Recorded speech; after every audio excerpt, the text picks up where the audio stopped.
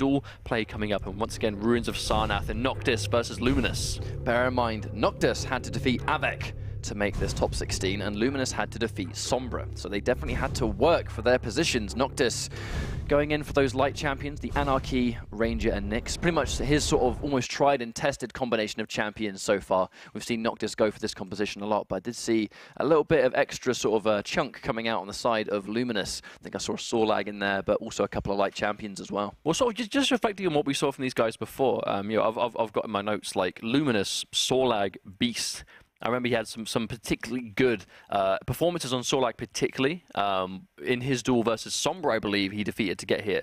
And um, Noctis, we saw his Anarchy in the rounds. Like he, he tended to run Anarchy first in all the maps that we that saw. That was very common for um, sure. His very first series, he wasn't knocked off Anarchy at any point. He didn't die a single time. And then I believe Noctis versus Avec uh, in order to qualify. His Anarchy was by far his like star champion. You know, running it first. The, the maps he lost Anarchy were the ones that he struggled. I don't want to say struggled, but the ones that it was a lot closer. But when he was allowed to, to just do what he wants on Anarchy, this guy's a monster. I think it's a testament to how effective, I guess, personal picks are. Because, you know, we saw um, Zron with that Ranger coming through, Three, Toxic with his two, Scale Bearer. One. There are clearly some champions in this game that some of these players really do really push beyond with. And I feel like with Noctis currently in duels, Anarchy is that champion for him. And once again, starting with Anarchy first, like we saw. So these these two, I suppose, notable champions that these guys are good with, starting off. First things first, Noctis on Anarchy and Luminus on the Sorlag. So it's Ruins of Sarnath, we know how fast Anarchy can get around this map. It's also a matter of, like, you know, him in particular can get around really quickly because even though there's a lot of sort of tight turns here and there, because his passive giving him that increased air movement, he can easily navigate the map without really being challenged too much. You can see how fast he's able to sort of turn while in midair. If you're not going to hit any walls, I mean, look how fast this champion goes. Well, catch your Sorlag. Bunch of guaranteed lightning oh, damage as Luminus was caught on the jump pad. Luminus knows that these uh, power-ups are quite away from spawning now. He has the timer on the Mega, uh, well, a heavy armor I should say, and the Mega health even harder too because Luminus was able to pick that one up. Again though, he did manage to catch him with a couple of rails. Rocket comes through as well, but not with a huge amount of damage so far. Luminus still lots of health, good to go. Oh, a bit damage coming through. Yeah, this Amiga 3 damage in Rocket is unlikely to really follow up from that. Luminus looking super healthy right now. The injection is ready, so if Noctis gets caught out in a fight, he can survive. He hit that 90 damage plus 43. That's a lot of damage on Luminus. However, Anarchy, being the squishy little guy he is, cannot take a huge amount of damage, especially seeing as he can't tank rails just yet. Nice. And just take him out. Catches a really good spawn, but he's going to pop that dual wield early on. It's going to at least keep Noctis at bay for just a little while while he escapes.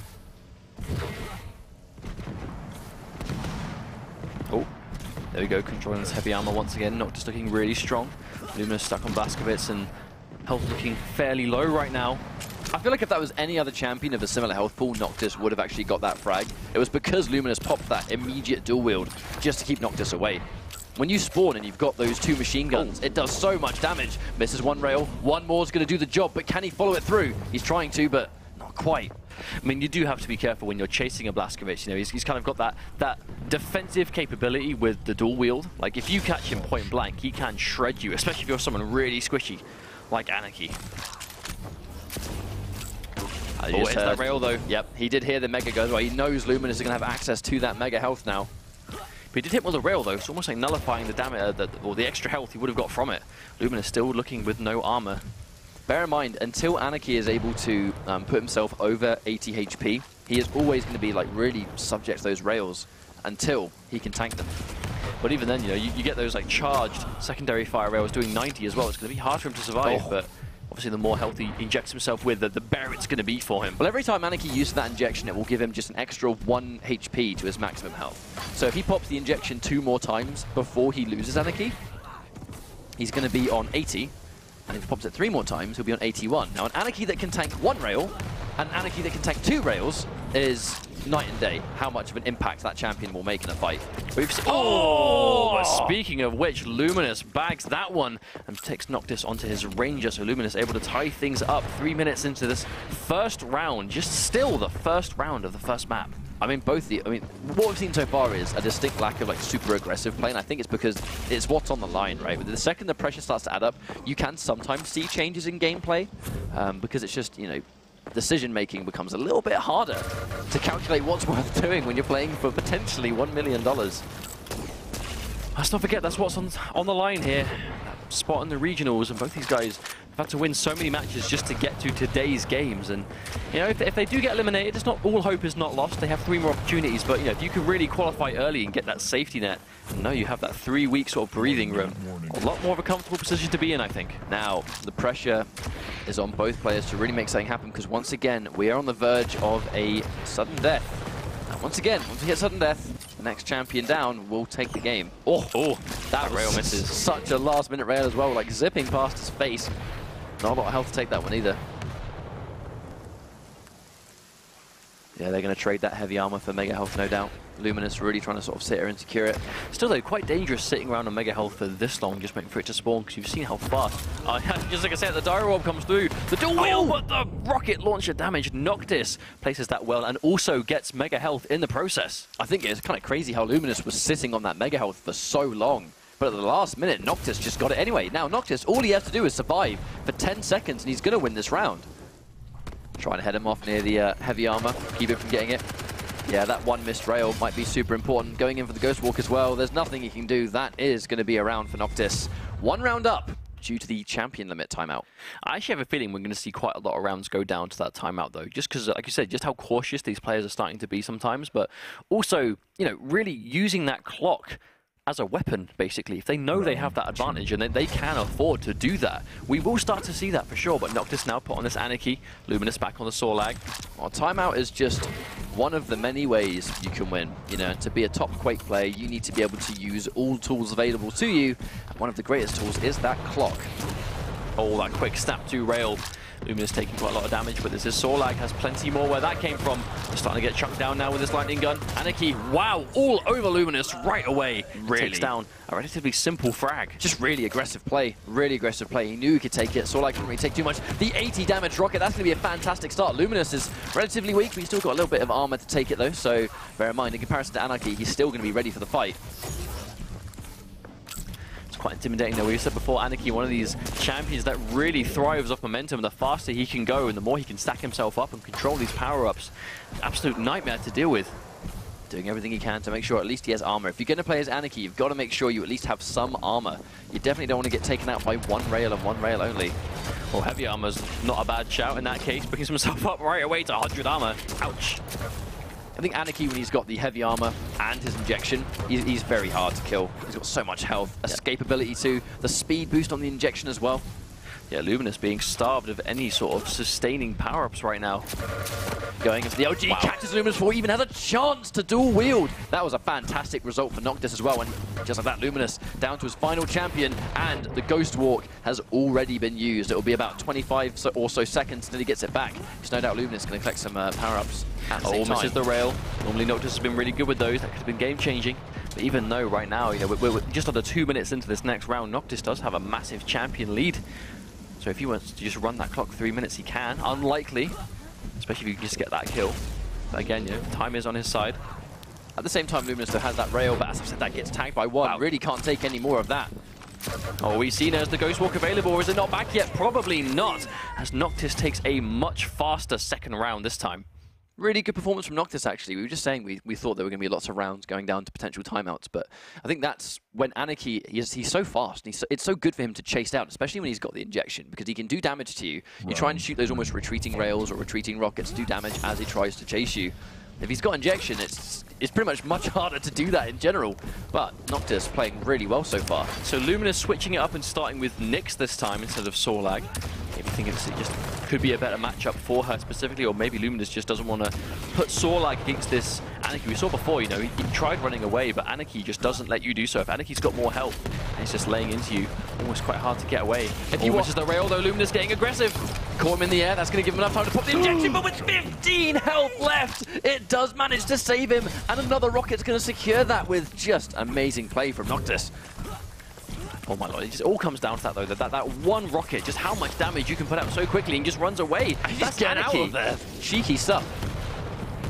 But at the same time, he's going so fast. If you're going in for those rockets, he's going to be so, even with the rail, he's going to be so hard to hit when he is going at this speed. This is Blazkowicz though, if he can get him cornered, he's gone for the dual wield. The damage is coming out, the LG's restarting starting to add up. He goes for the rockets, and Luminus is going to take that frag, getting Noctis Anarchy off of the table. Very important element, I think. Uh, just making sure Noctis cannot play what is, at the moment, really his star champion. Forcing that away from him is pretty much your best chance at surviving the round. Catch him with the rocket again. Big damage going off the dire orb, but not using it. Nice with almost non-existent health. Look at that, That must be- survived that- by a sliver. That's got to be like 1 HP. That had to be. Speaking of 1 HP though, Mega Health giving you a little bit more than that, and Luminus able to finally control. I mean, that's the thing though, now Noctis isn't on that Anarchy, the speed in which he can get around for power-ups, unless he uses his Dire Orb to do so, is not going to be the same. Yeah, absolutely not. Which looks like Luminus is actually allowed to pick some of them up now. Heavy Armor's going to spawn and Noctis once again takes it, but he really hasn't got a huge amount of health. He's going to have to take those 25s as he comes and goes. A lot more patience. Really looking towards that mega health. He wants he's safe to get it. He is indeed. Noctis here misses the rail. This is a bad situation to be in when you're getting rocket rains down from above. He got a couple from the bottom though, so it's going to sort of almost again sort of force that disengage. Some of those You see how much this comes down to prediction, though. These guys constantly predicting and reading where the opponent is going to be. You know, keeping an eye on those timers, knowing, okay, well, heavy armor's coming up, so he's going to go there from one of two ways, you know, trying to head him off, and there's Mega Health, the exact same thing. At the same time, Luminus is going to be very cautious about this next fight. He did hear the fact that Noctis was towards the heavy armor. No doubt he knows he's taken it. Oh, that, that was actually it. quite close and risky for Luminus to stay there for that shot, because if Noctis hit that rail, that would have been death. He can stay there for some shots, though, because of his passive right, how it recharges him to his next 25 HP. It does take a couple of seconds of being out of uh, out of combat for that to happen, though. So if Noctis is sort of forcing him to stay in the fight, Oh, all right. doesn't lands quite on a meet him. rocket. I thought it was going to take a lot more damage than that, though. Noctis Yeah, me too. definitely seemed to have in a bad situation, but Noctis backs off. Two, bear in mind, they've still got two champions each, and again, round going on for quite a while. Wouldn't be surprised if we end up seeing a sudden death from these guys as well, with just the pace of the match currently. Perhaps we are over three, approaching three and a half minutes. That Oh. rail connects, though. One more, and they're going to trade it out, but Noctis with that health advantage. Heavy armor coming up now as well. Luminus forced onto this Sorlag as the final pick. Now, I've seen Luminus Sorlag so far hasn't been able to really do a huge amount. However, that was against Noctis' Anarchy, and for the rest of this round, Noctis won't have his Anarchy available. Still able to control the Mega Health, though. Luminus. This is Sorlag still naturally going to be very healthy. Did a nice amount of damage there just to really sort of fend him away. 1 minute 10 on the clock. Noctis, I mean, staying alive for one minute is quite a big ask with the speed and the damage and the range of these weapons, but Noctis really can be, afford to be the defensive player here. If he wins this via timeout, he's going to be up another round, which will make it three rounds, and it's going to make it that map for Noctis. He's going to be one up. Well, we- we've seen how explosive these rounds can be and how fast it can go between, you know, very passive and nothing really happening, both players being really careful to, okay, now they're just absolutely just fragging all over the place.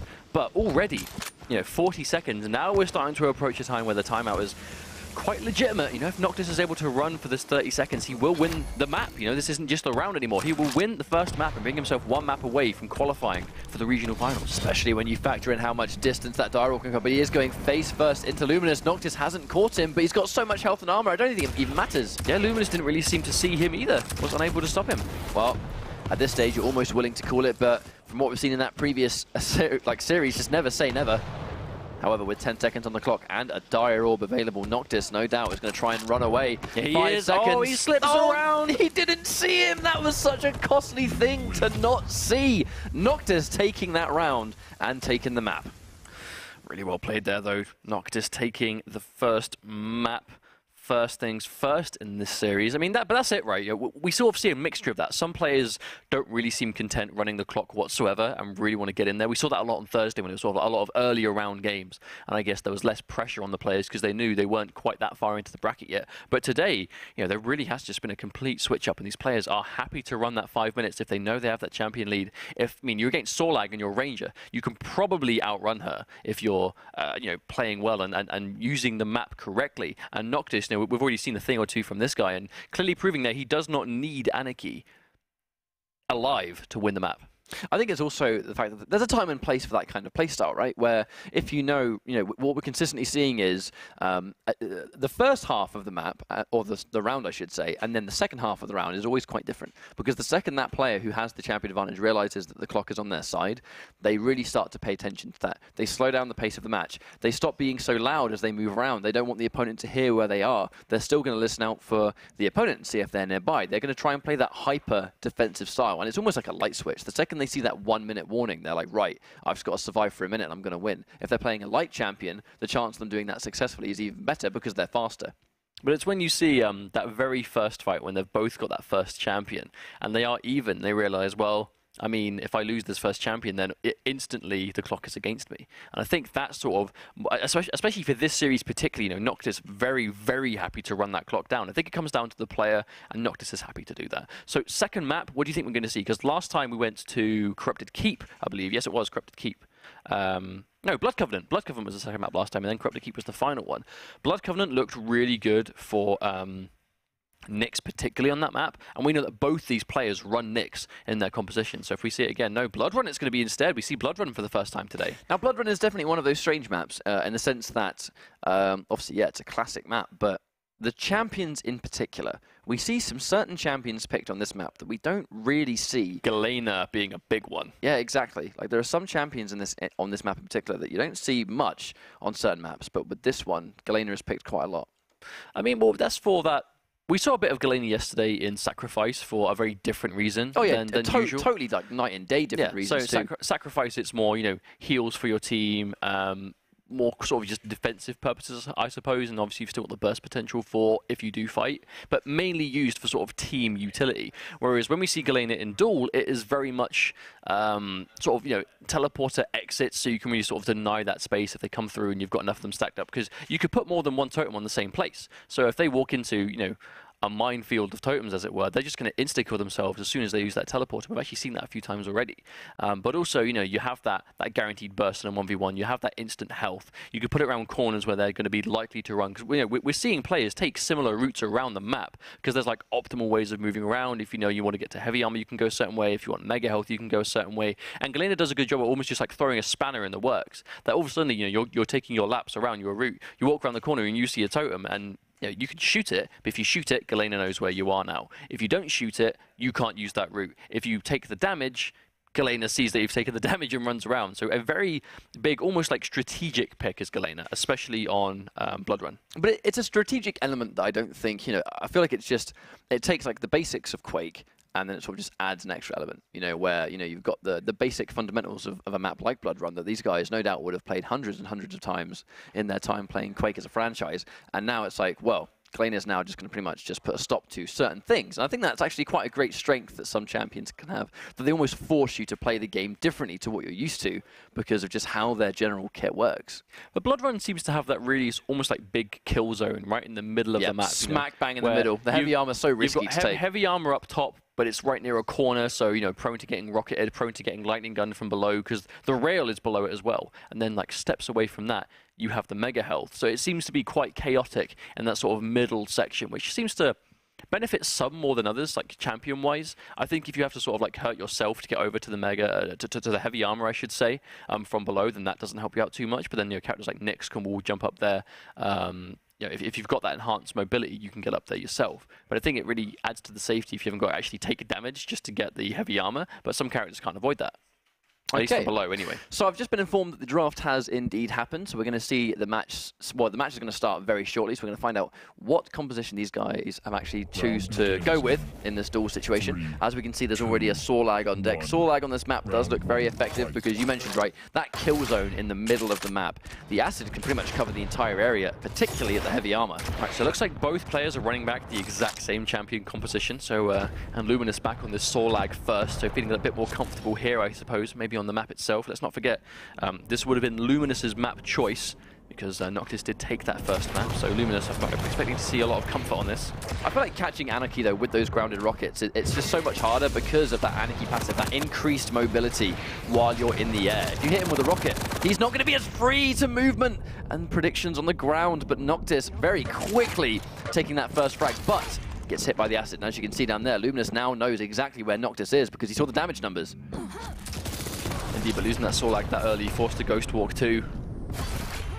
So Noctis yeah. already has the momentum in this round. There's a chunky cooldown on that Ghost Walk as well. Even with those Hourglass pickups, it is still 26 seconds until it's back. And that's enough time for Noctis to catch him. Think Noctis at this stage really using the damage he did for the rail not to finish up a frag, but to really keep Luminus away. While he's having to get you know his health and armor back up, Noctis was now able to freely take the heavy armor and the mega health, and now he's stacked as he can be for the next fight. Always right behind it. Yeah, tops himself up on armor. That could be really important, especially with these squishy champions. But a fight coming out here. A lot of damage coming out on the rocket from Luminus, but yeah, the Ghost Walk goes away, resetting back this. Oh no, he's not. He's chasing aggressively. Had to use the injection. He didn't take a huge amount of damage, but Noctis, obviously with the low health pool that Anarki has, he's still in a little bit of trouble. Oh, the heavy armor goes Noctis. That's what I'm talking about, though, how dangerous it can be. Oh! He almost got railed, and Noctis is returning the frag with a rocket launcher. Looked really good for Luminus, but Noctis just being that one step ahead. He's got a really good spawn as well, but obviously actually being a bit careful, doesn't even try and shoot the rail. He just wants to get out of there. Already though, Noctis, the massive advantage. Blazkowicz walks straight onto a Rocket Luminus in a bit of trouble here. Oh, still trying to stop him from getting this heavy armor, but it looks like Noctis is quite easily be able to guarantee it, and this Luminus comes back. That looks like Noctis being a little bit more patient. No, he teleports behind him. Cheeky yeah. stuff coming out from Noctis. Just caught him from the back end. Once again, just it's a level of control that Noctis, I think, is really establishing. And that's a really good, a good rhythm on the Rockets, catching it in between, taking minimal damage while at the same time getting that heavy armor and mega health. oh, Mr. Rail, that could have been make or break. Hang on a minute, Luminus. A little bit confident going in there, taking a couple of rockets before using that teleport to get away.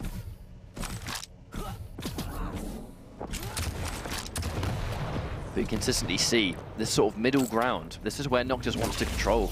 Oh, attacked him. Right, the amazing reaction seeing him come out of that teleporter. Noctis ready as always. Heavy armor goes the way of Noctis again. Noctis having complete control over these power-ups.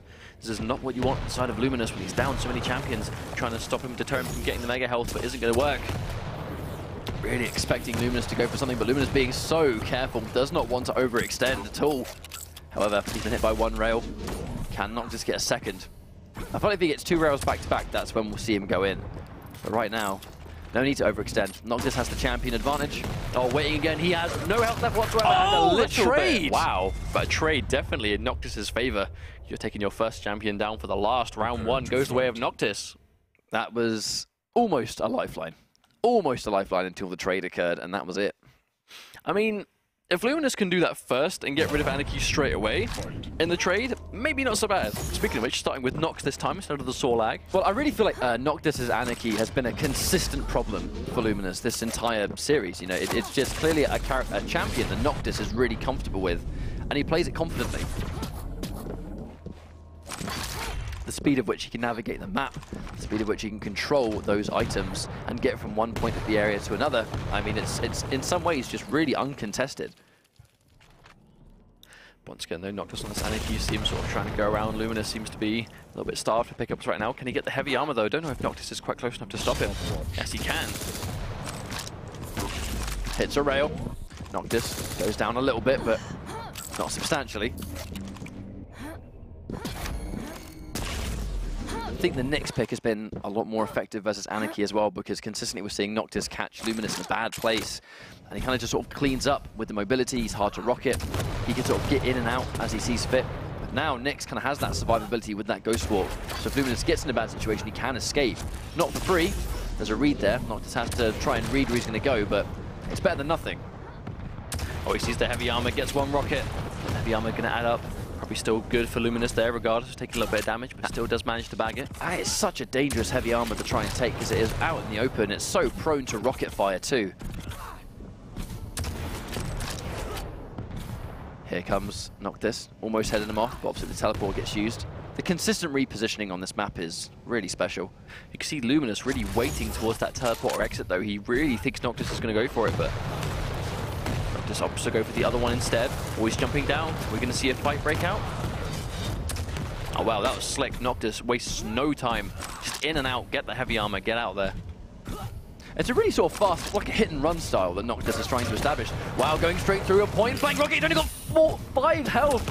Forced to use his uh, injection right there, but I don't think he'll mind though. I mean, seeing the damage he just put out on Luminus. Oh, we shot the rail at him. Let's not forget, this is Anarchy with no armor. One rail will kill him. You know, if that rail connected, that would have been over. Yeah, he would have lost that champion for sure, but but that mega health comes through though, just taking him out. Oh, it did save him from that rail though. he's not got the injection for a few seconds, but that hourglass pickup is going to sort of half that completely from 20 to 10.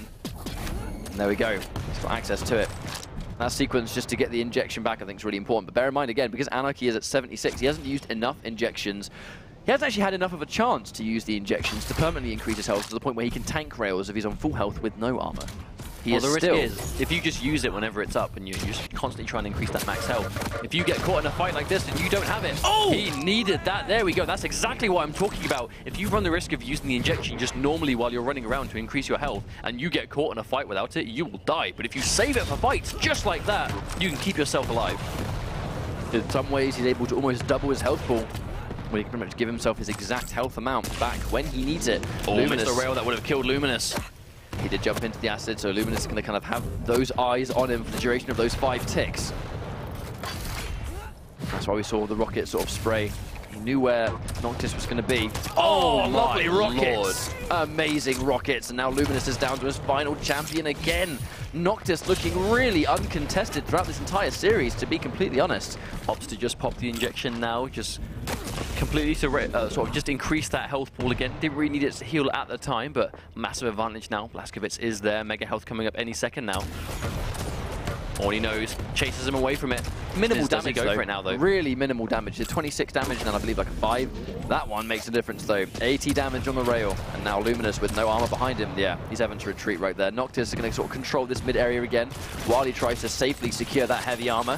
Luminus, though, trying to keep him spaced out as well.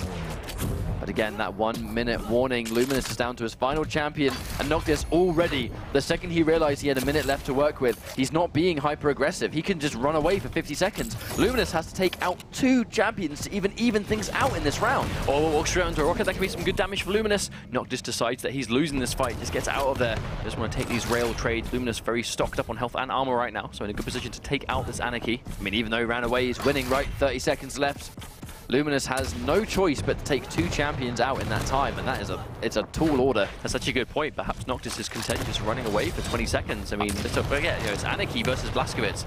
Not an amazing character at chasing you down versus a champion who is amazing at just running around. The dual wield comes out. Oh, he's got caught in the corner. But he's alive. That injection saves him once again. And Luminus unable to chase him in time. I feel like that might be game over. I mean, two champions in five seconds. And he just used his dual wield. He doesn't even have an ability. I think this is all she wrote. Noctis takes round two, brings himself to match point. Yes, he does. One round away from qualifying for regional finals. Very important round for Noctis, but in many ways, an even more important round for Luminus. He has no options but to win this round, otherwise that's he it. has He's out. A mountain of a comeback to make. He needs to get three rounds in a row and then another game. They both sort of meet one end of the hallway to the other, but Noctis, we've just seen the sheer amount of damage that this guy makes when he's playing Anarchy in, in you know, in multiple game modes, but in Duel particularly. This really seems to be his bread and butter starting champion, and it does so well for him. He's had so many good results with just Anarchy in particular. Hey, we saw him. Oh, oh. my lord. Nice little flick. But that's the tried and true, right? Swapping to that railgun right at the last minute and getting that, that, that quick damage when you realize you've done so much. Catches him from below with the lightning gun. This is not a good turnaround for Luminus.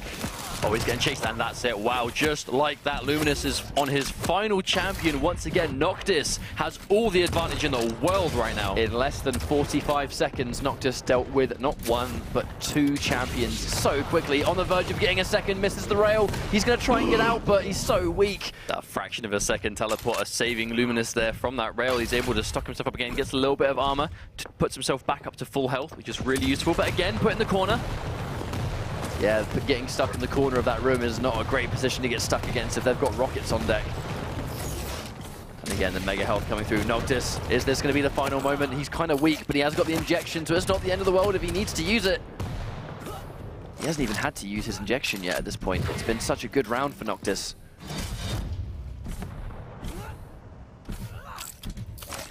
That sort of cautious play that Luminus has no choice. If he gets caught out by Noctis, you know, Noctis is here. He knows he's got the advantage right now. Getting some damage down, getting out of there as well. Knows that Blazkowicz has that dual wield, doesn't want to get stuck in close proximity against him. But at this stage, the pressure's on. He lands one rail. Just look at how little HP Luminus has, even though the passive will top him back up.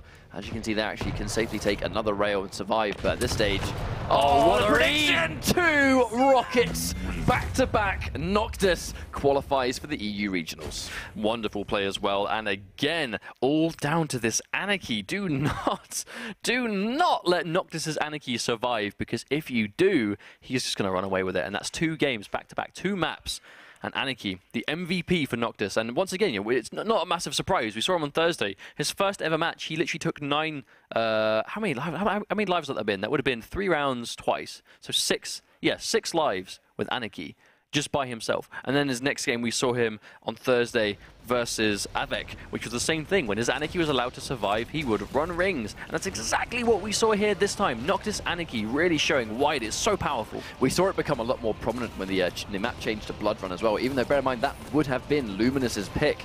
Uh, when you lose the map, you have the option to choose the map you want to play afterwards, because obviously it's kind of giving you that little advantage because you've just lost the last one. That trade was really unfortunate. However, um, even though that was the case, I mean, we've seen, that, actually, we saw Noctis play on this map on Thursday, and